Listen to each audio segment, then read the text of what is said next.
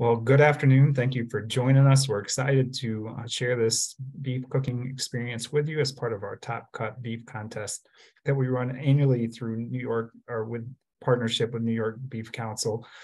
Um, this year, we're focused on the cafeteria takeover and before we get started, my name is Jeremiah Best. I'm the educator for New York Agriculture in the Classroom. I want to share uh, just a couple of dates coming up. So if you go to our website, to our Top Cut page, you will see that we have uh, the roadmap. We have opened the contest. We do have a rolling registration, so please feel free to join us at any time. As you get into October 17th, um, today we have the virtual cooking experience we will be closing the competition on December 2nd and hopefully announcing our winners um, December, by December 22nd. So with that being said, I want to introduce Chrissy Claudio, who is the Director of Producer Communication and Consumer Engagement, who will and will share with us their guests from New York Beef Council or from the Beef Council. Hi, everybody. Thanks for taking time out of your busy day to join us today. Again, I just wanted to, let me pull up my slide. Make sure it's working. There you go. Uh, I just wanted to take the time again to thank New York Ag in the Classroom for partnering with us again this year for um, our Top Cut competition. And without further ado, I would like to introduce our presenter today, um, Dr. Chef Alex Reese from the National Cattlemen's Beef Association. Thank you very much for being our presenter today um, and for this virtual experience. Uh, Alex oversees all NCBA food production as well as Beef Culinary Center operations, testing, and demos. He has spent the last several years as a chef and has held nearly every position in a kitchen that's possible. Uh, this makes him a very knowledgeable in very in different styles of cooking, which he applies to beef. Uh, Chef Alex graduated from Johnson & Wales University in Denver with a degree in culinary arts. Chef Alex also comes from a small cattle community in upstate New York where members of his family raise cattle. In his free time, you can find Alex and his wife exploring the local food scene for new and exciting trends, as well as working on project cars. So just a few housekeeping uh, details please make sure that your um, microphones are muted. Questions are welcome, and we can facilitate that at the end and throughout the presentation. And also, we will be recording today's webinar so we can share it with everybody afterwards. So without further ado, I will let Chef Alex take over.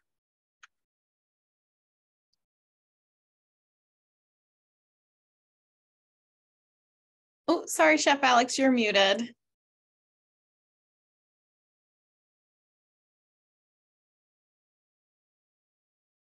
So as Chef Alex is getting his uh, volume taken care of, if you have any questions, please feel free to put it in our Q&A section and we'll make sure to relay those questions to Chef, Chef Alex as he demos. And Chef Alex, can you guys hear great now? to have it. Yes, we yes we can.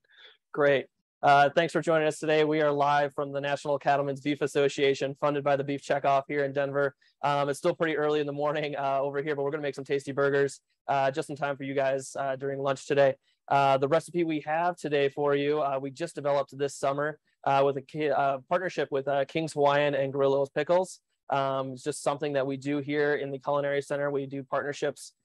we can put recipes on these partners' websites, um, and we can make recipes for them so that we can put them out to consumers. Driving beef sales, of course, um, is always fantastic. so we developed this recipe this summer, like I said, with that partnership. Um, it was a great challenge uh, to overcome. Uh, we took a look at both their res, uh, both their uh, websites um, for recipes that they already had, and it was uh, looking through thousands of recipes to try to figure out what worked best for both companies. Um, so that's what we developed here. Um, it's a great recipe. Uh, we tested it right here in the Culinary Center, um, both on gas and electric. that's what we do in here and then uh, it went through a triple test process and uh, the final results results for it are fantastic. Um, the partnership was successful um, and it really drove up beef sales along with pickles and uh, these slider buns this summer. Uh, so let's get started. I'm going to be working off my plancha grill here today. You guys can be working um, outside grill or something like that. Um, plancha is great. You can also use a skillet uh, to cook on as well. Both fantastic. Um, I already got this preheated and ready to go. And what we're actually going to do first is we're going to start on the sauce for the recipe. It is a beer cheese sauce. Um, when we tested this recipe, we realized that you know consumers, um, for whatever reason, might not um, want beer in this cheese sauce. So uh, we tested this recipe with uh, beef stock, and that's what I'm gonna be doing today with you guys. Um, works just the same. You don't get the beer flavor so much through it, but um, the recipe still works just as well, um, and it comes out fantastic.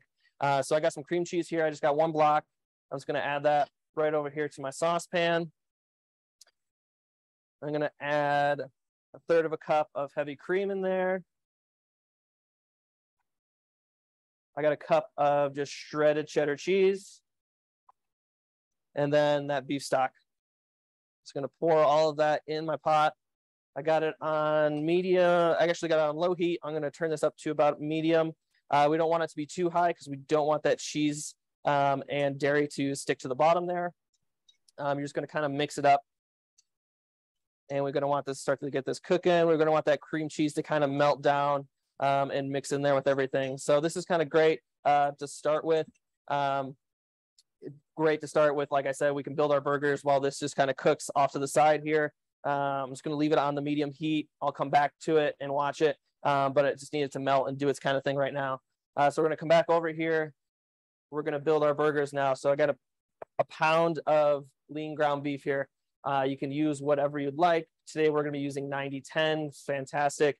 I love it. Um, it doesn't have all that extra fat um, that would clog up this little plancha over here. So the leaner, the better in this case.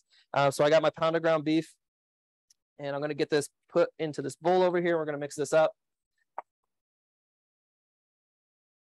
I also have some breadcrumbs that'll be going in here as well. These are unseasoned breadcrumbs. I find that it's easier that you can just kind of control that seasoning a little bit by using the unseasoned. And a fourth a cup of the breadcrumbs, a little bit of granulated garlic, black pepper, and a fourth of a teaspoon of salt. We don't want a lot of salt in this recipe. Um, going through the testing process, we knew we were going to be using um, these King Hawaiian pretzel bun sliders. They already have that salt on the top, as you can see um, right there. We didn't want to add extra salt to it. The cheese sauce also has salt in it. Um, so we wanted to keep the salt as little as possible. So that's why there's only a little bit in the ground beef mixture. But we're just going to mix this up. Now it's important when you um, mix this not to overwork it. You can even uh, let this rest. And that's what I do at home actually is I'll mix up all my seasonings in this ground beef and then I'll stick it back in my fridge and kind of let it rest. That kind of helps it, um, just in case I did overmix it at any point. But what overmixing does is it makes it tough, um, and nobody wants a tough, dense burger. We want it to be light and juicy. Um, so just beware of not to overmix it. I can see that all that breadcrumb is kind of mixed in there. I can see that the seasonings are mixed throughout, and that's probably good to go. Okay.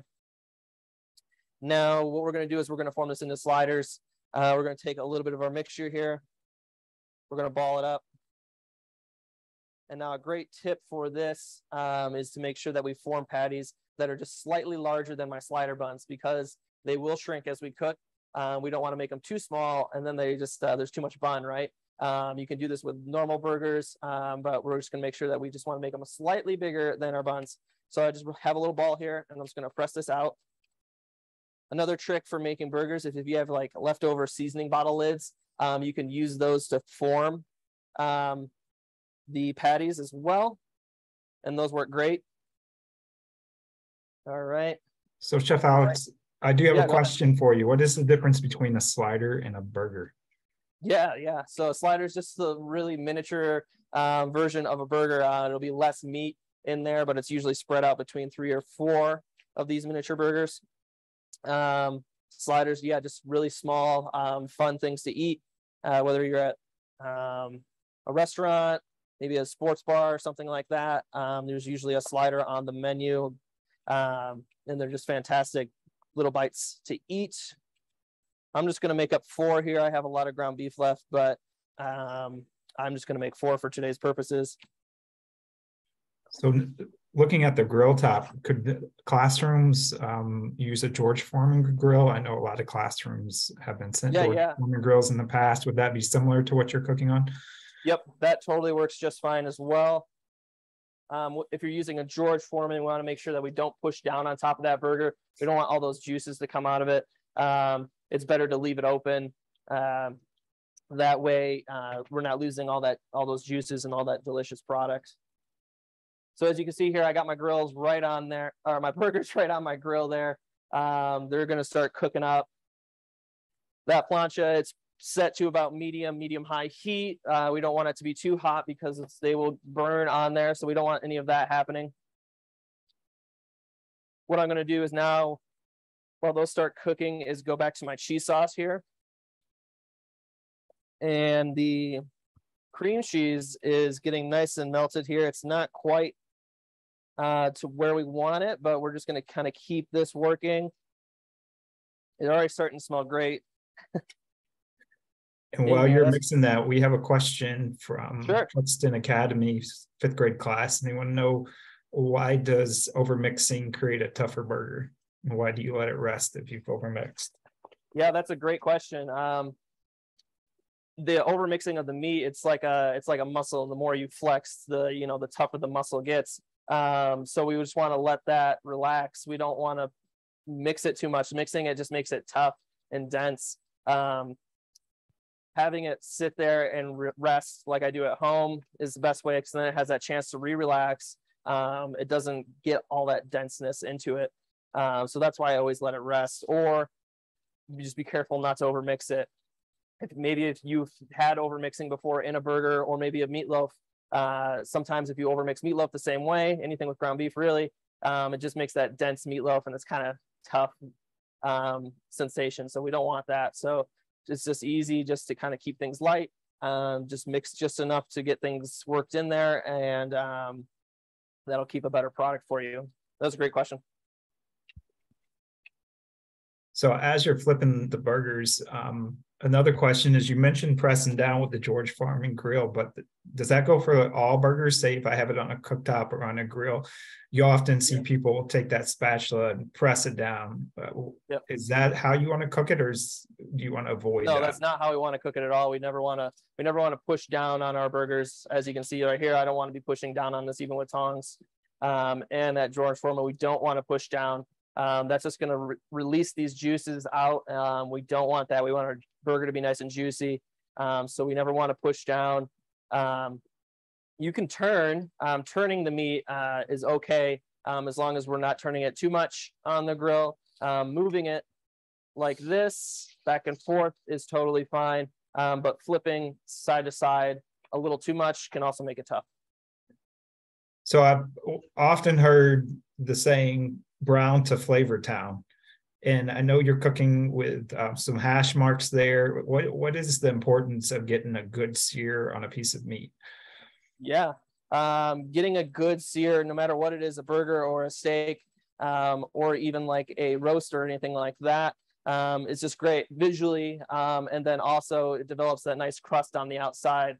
Um, all of that crust is just uh, seasonings and flavors um, that have just seared to the outside of the pan. They just absorbed all that juicy um, butter or oil or whatever else on the outside and it's created that nice sear. Um, it locks in all that flavor um, and you just get a better product that way, whatever you're searing. Um, you'll see these burgers here and I'm going to point down to the camera here and we can see on this other side here. Um, we can already see we got some grill marks going on this side. Um, and that's just all that flavor on there. Um, it's just delicious. We're going to give these a couple more minutes on this side. Um, and then we'll flip these over. Uh, we'll put our buns on last here. They're not going to take too long. Uh, we have our toppings already prepped up as well. Um, when we developed this recipe, um, like I said, we went through a triple testing process. Um, we tested this on uh, gas and electric. Uh, we tested it on this kind of a cooktop as well using the plancha. Um, works great. We made sure that no matter where you are, no matter what you're using, this recipe will turn out the same. And like I said, we did the same thing with the cheese sauce and not adding the beer to it and just substituting that with some beef stock. Um, and that turned out fantastic as well. And actually going back to that cheese sauce, I mean, we can shoot the camera over here at this. It's already melted up here. It looks great. Um, you can kind of see that consistency there um, of a nice cheese sauce and it's already great. Um, all that, that cheese is melted down. We're nice and smooth. And so what we're going to do is we're just going to turn this to a low heat now and just kind of keep this warm. Uh, we don't need to cook it anymore. Uh, we don't want to necessarily turn it off because then it'll congeal a little bit on us. So we're just going to keep it on low. We're going to keep stirring it and watching it. But this is ready to go for the burgers. And now going back to the burgers, uh, let's uh, give these a flip. And I had another great while you're flipping the burgers. Another great question from fifth from Truxton Academy's fifth grade. They want to know what what cut of the cow is ground beef from. What cut of the cow is ground beef? Um, well, that depends on the grind that you get. Um, today we're using sirloin. Um, so that's coming from the uh, sirloin area of the cow. So that back part, I'll point over here. Uh, you can see it right over there where it says sirloin on my cow. Um, that's right where that um, is coming from. Uh, it's coming from uh, trim uh, that they couldn't use for maybe steaks or something like that. They have just ground. Um, you might see chuck. Uh, that's pretty common when you're buying ground beef. That's coming from that chuck area of the cow. Um, same process as before. They're just using some trimmings, some scraps, um, nothing bad, of course, and then just grinding that down. Um, so to answer the question, it comes from different parts of the cow, um, depending on what you buy. That was a great question.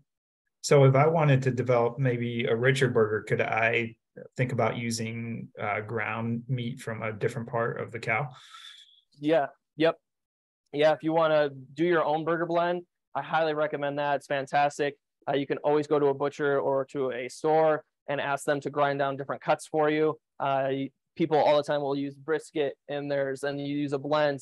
Um, so you're grinding down that brisket, mixing it with maybe some of that lean sirloin and then some of that richness of the chuck um, in there creates that perfect blend of juiciness, um, flavor, and then a little bit of leanness in there as well. So um, play around. Uh, there's no real um, anything I can recommend to say, you know, do 20% this, just kind of build what you want um, as far as your flavor goes.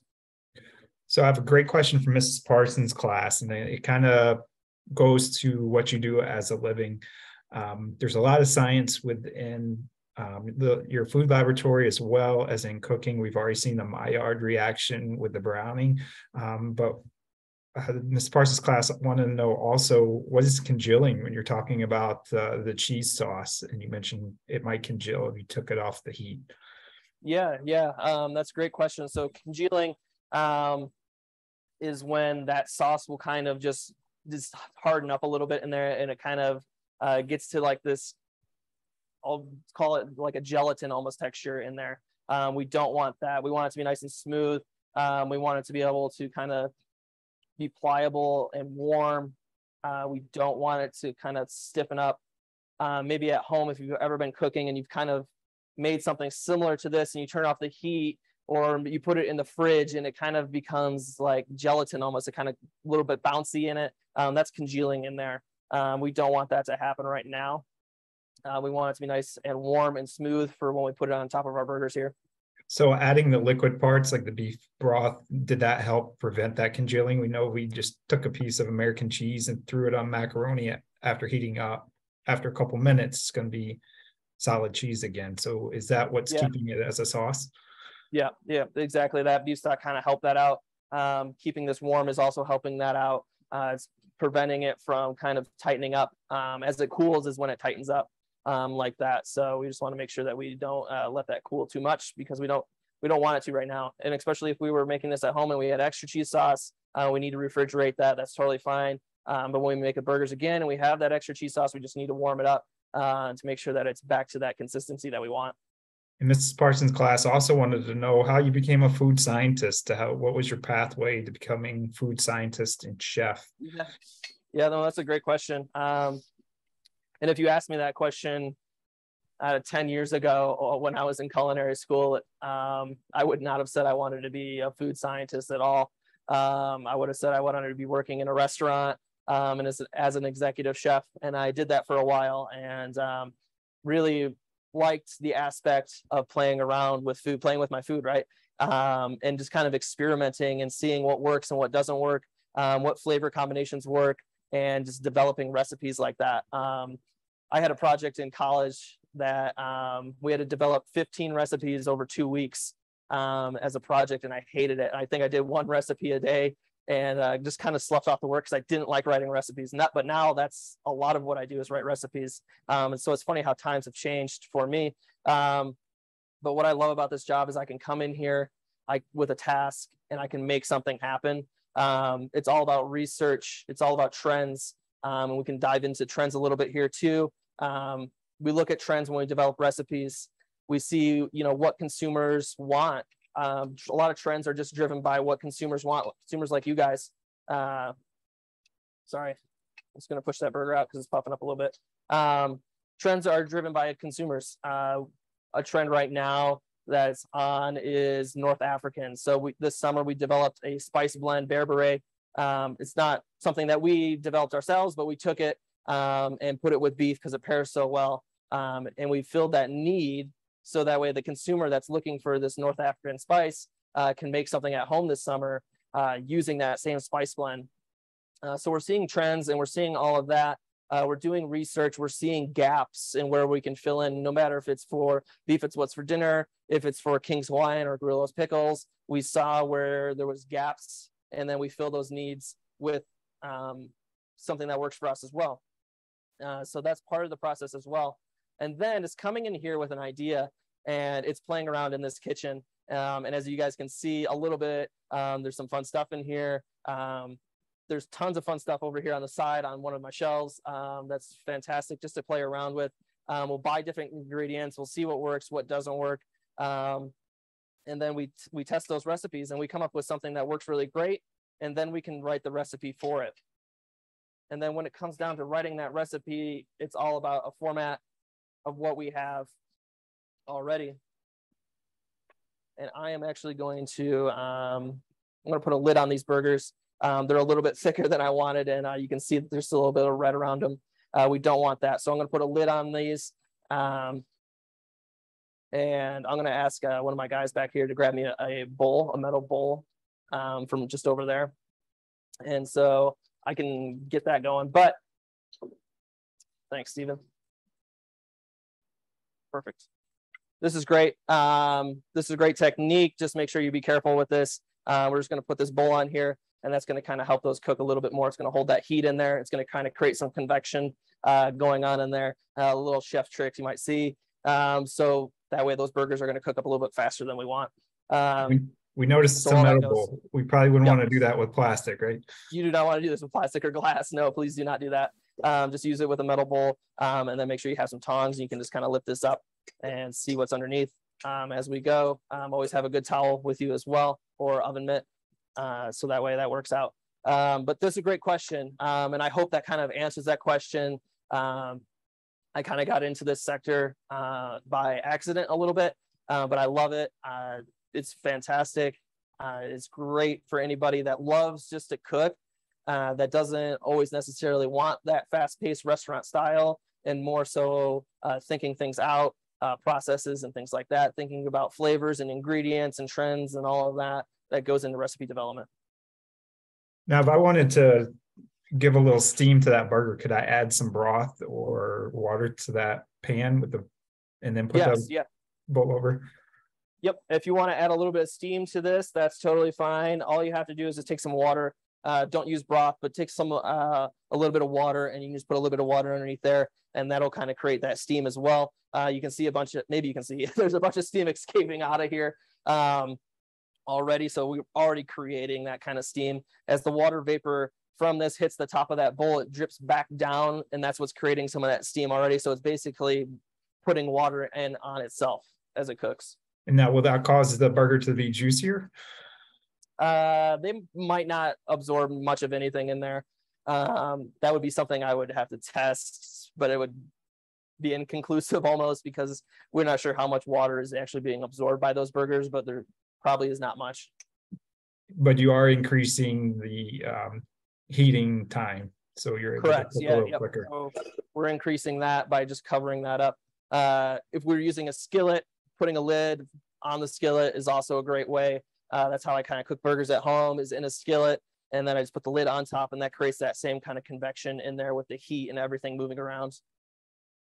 Um, so we noticed that you ta- discussed and we saw a little red on your burger, um, and you were a little concerned about that. You felt like they were too thick and you needed to Yep. add the dome. So what what would be your um, feedback for safe cooking temps? What are we looking for? Where are we Yeah. looking to get uh, to kill back kill off any harmful bacteria?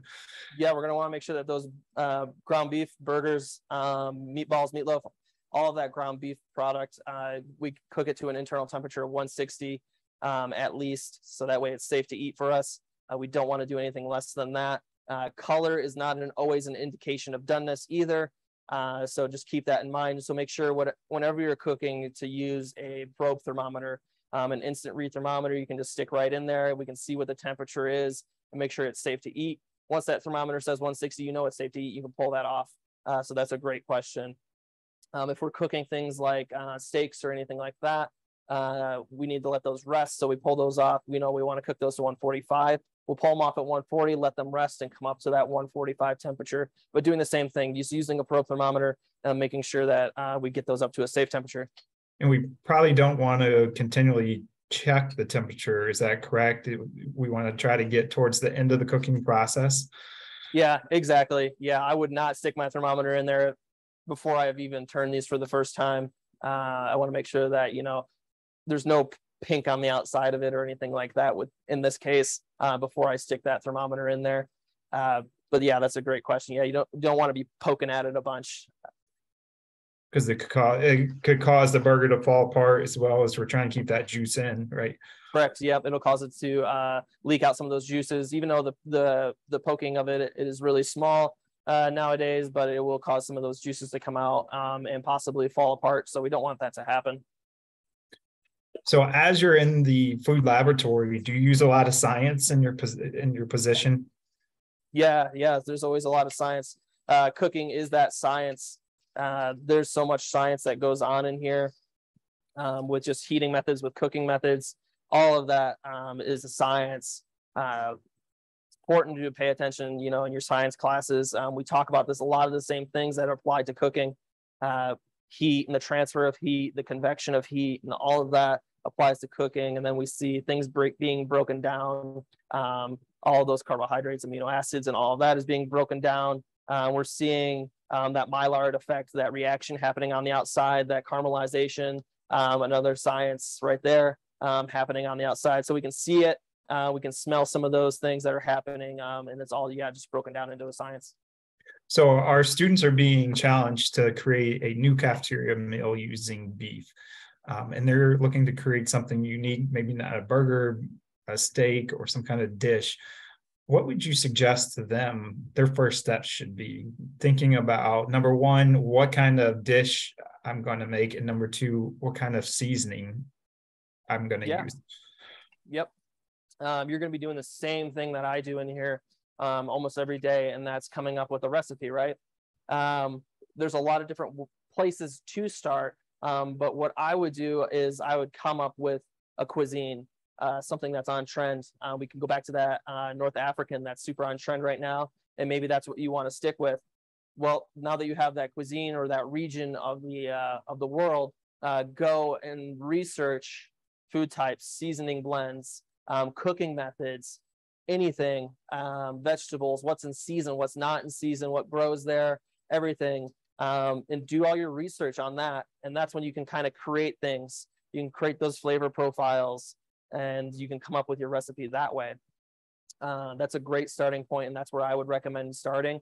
Um, and then as you go, um, build your recipe with those flavors. Don't do too much but don't do too little. I know it's kind of hard for me to say that and uh, for you to understand it, but um, it's all about trial and error and experimenting, you know, um, coming in and testing. If you guys are, let's say one of you guys making a burger with that North African spice, um, tweaking the spice, you know, maybe you want it to be more of a warming spice versus more of like a herbal spice, um, an herb essence to it. Um, so tweaking those spices around and playing with those flavors and trying it multiple times before you come up with a final product is what's key uh, to developing those recipes. Uh, we can all say, I can say a million times that I know exactly what garlic tastes like, but you know, you don't always know what it tastes like combined with other things. Uh, so just tweaking that and tasting and keep plugging away is what's most important. So it sounds Um, like it's just not a science, but there's also an art. There is, yep. Um, so my burgers are pretty well cooked here. I don't have any peakness on them. That um, bowl on top helped us out quite a bit. Uh, so what we're gonna do is actually I'm gonna toast up my buns now. I'm just gonna pop these on here. Move a couple of these burgers to the side. While you're doing that, I have a great question from CP Weber, Port Washington. They want to know where you went to culinary school. What kind of Yeah. what culinary schools are out there? Yep, that's great. Um, I did my research. Um, as you guys know, I was from upstate New York. Um, I'm actually from Olean, New York, if anybody knows where that is, uh, just south of Buffalo. Um, but I did my research. Um, I found culinary schools in state and out of state. Uh, I found Johnson and Wales actually. Uh, they have a Providence, Rhode Island campus. I went and visited the Rhode Island campus. Uh, loved it. It was a huge campus. I wanted something a little bit more small because I'm such from such a small little town. I was going to pull these buns off while we talk. Um, and I saw that they had a Denver campus that was uh, fairly small and more um, unique. So I came out here to Denver, uh, went to Johnson and Wales uh, for a uh, two-year degree in culinary arts. Um, I had already had taken a tech class in high school for two years. So having about four years of culinary experience plus uh, working in kitchens since I was pretty young, um, all accommodated to all of that and then going to culinary school. Uh, and that experience was fantastic. And it was great that I went in there with prior knowledge into, into school. Um, that just helped me be more successful. So as it looks like we're finishing up those burgers, and we're going to go back to that art side of culinary. Uh, there's that's art and science of of plating our food. We eat with our eyes. So what are the things that you think about when you plate a dish? Yeah, exactly. um, like you said, we eat with our eyes. So a lot of color, making sure that not everything looks the same. We don't want just a bunch of brown on here, right? We have brown uh, from the burgers. We got brown from the slider buns. We don't want a lot of brown on there. Uh, so when we're thinking about developing recipes, um, it's always great to visualize and draw a picture of what you want that final plate to look like, right? So here's my final plate. So I would draw out a nice rectangle, um, and then I would show my sliders on there, and then I would show my toppings, and I would color those in with colored pencil. Uh, so that way I can just visualize what that looks like. Um, I did a lot of those drawings in culinary school, and I still find myself this day. Um, I have a, a notebook next to my bed, and it's got colored pencils right there. Um, and I'm always constantly drawing something out. I'm not the best drawer in the world. I usually just draw stick figures. It looks terrible, but I can using the colors um, really helps uh, me visualize uh, a final product like this. Um, so when we're doing this, we want to make sure we have a lot of color. We want to make sure that we're incorporating all those different colors because that's what appeals to our eye. We eat with our eyes. Um, so I kind of have that going already here. Um, and I'll kind of build this and kind of talk about it at the same time uh, with those colors. I got my cheese sauce here. So I'm going to start with that on top of these burgers. Um, you might ask me why I'm starting with that cheese sauce. Normally, if we were making just any kind of a cheeseburger, uh, we always start with the cheese right on top of there. Um, so that's kind of what I'm going to do this time as well. Um, this cheese sauce has kind of got that orangish hue to it. So already we're incorporating a nice bright orange color. I'm going to probably put about a tablespoon onto each of these and top this off. So I already have my orange on here. That's already appealing. But if we just look at this just now, we can see it's still kind of bland looking, right? We just kind of got some browns and then we kind of got this uh, dark orange here a little bit. So now we want to add some some bright colors to it. Um, we have those Grillo's pickles that I was talking to you about. So now we're going to add those on top. Now we have nice green. Uh, we have a little bit of white coming in there as well from the pickle. And already see, look, those look fantastic. We already got some nice bright colors. It looks more appetizing, right? As we're looking at that, we're like, oh, I could probably eat that now. Well, let's keep building some of those colors.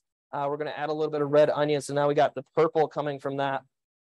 Red onion's a little bit pungent, but that's okay. Uh, we kind of need that to kind of pick up some of those flavors in this recipe. And then last but not least, we have a little bit more green, but a different kind of color of green. Uh, we have kind of this army green looking jalapenos. They're pickled jalapenos. Uh, the reason why we putting jalapenos on this burger, uh, we kind of wanted to go with like a pub style um, kind of feel to it.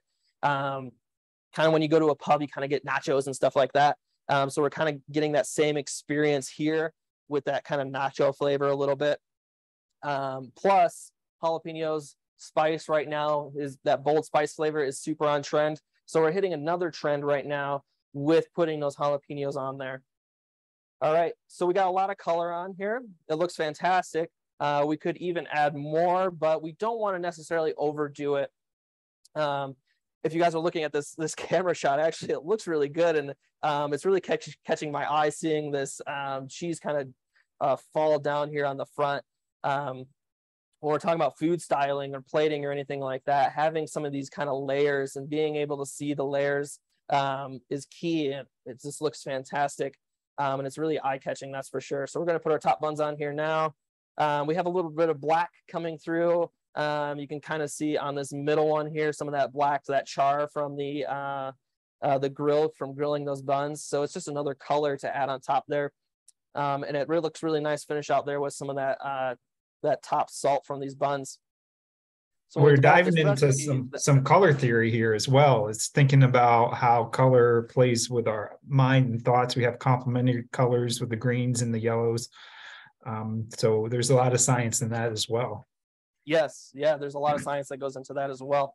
Um, I had a chef in culinary school always tell me never never have anything blue on your plate. Blue is not a natural color um, found in anything. Uh, we think about blue, blue, blue candy, but that's not natural, right? Uh, there's no fruits or vegetables that are just blue. Um, we think about, you know, like red grapes, but they're purple and things like that. Uh, they don't necessarily have those same hues. Uh, blueberries are actually more purple in the purple family than they are in the blue family. Um, but we don't want to play with any um, unnecessary colors, any fake colors. Uh, we don't want any of that. We want this, the food to speak for itself and we want that natural color to come through. And could you cut into one of those sliders so we could see the inside to see that? Yeah, sure. How juicy yep. those burgers are. Yeah. And as you're doing that, what, what's your favorite beef dish? What do you love to cook? What do you love to eat? Um, my favorite beef dish. That's a that's a, actually a great question. Um, if we're talking about a steak, my favorite steak cut is definitely a ribeye steak. Um, love ribeyes. Love the the nice uh, contrast of fat to beef ratio in there to lean muscle. Uh, it's fantastic. Uh, love just kind of getting those seared in a cast iron pan, uh, served with some sides. It's always fantastic. Love a nice ribeye steak. Uh, we're talking about maybe more of like a, uh, a roast cut. I definitely love tri-tip. Uh, that's something that you guys don't really have out there in New York um, is tri-tip. You can always go to your butcher. They will most likely have a tri-tip on hand. They're fantastic. They're kind of like a roast, um, but they cook kind of like a steak. They're just so good. They're a lean cut of beef. Uh, they're fantastic. They're great uh, grilled. Uh, you can sous vide them, throw them in the air fryer. Uh, you can also just cook them. You can smoke them. Uh, they're fantastic. They're great multi-purpose cut. So I definitely love a tri-tip. Uh, let me go grab a knife and I'll cut into one of these. So as Chef um, Alex is cutting into those burgers. We're going to get a chance to see what he's able to uh, create from just raw um, ground chuck, um, as well as these cheese sauces. So we look forward to having your uh, submissions here in the next few months. Please feel free to reach out. If you have any other questions for Chef Alex, um, reach out to us and we relay those questions to him. Um, hopefully, you all are inspired to go and hit your own food laboratory in your schools I know that looks delicious and it was 30 degrees out this morning, but I think I'm gonna have to go out and get the grill started. So there we go. There's the inside of our burger. Uh, looks fantastic. We got a good color on there. Uh, made sure that it, uh, we cooked all the way through and we are cooked all the way through on there.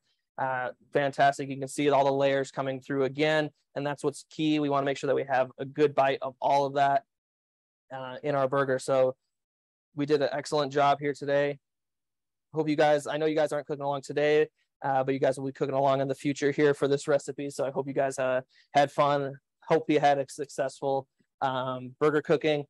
Um, when you guys are developing your recipes or anything like that, if you guys have questions on beef cuts, where they come from, if they're lean or not, uh, and just kind of cooking methods in general, and this would be great for your research, is always go to beefitswhatsfordinner.com. Um, we've done all of that research for you.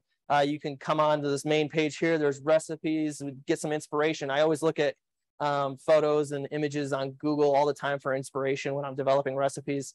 Uh, you can come on here and find some inspiration. Uh, you can also click on the cuts and we have every cut in there, how to cook it, uh, and where it comes from and all of that. So it's a great resource when you're developing these recipes. Uh, so make sure you head over to beefitswhatsfordinner.com. This recipe on here today is in one of those collections. Uh, so you can make this anytime. There was a few others in this same collection that we developed. Uh, I think there was two more uh, burgers just like this uh, for King's Hawaiian and Grillo's Pickles. So um, you can also make those if you want to make all three of them um, and test them all out.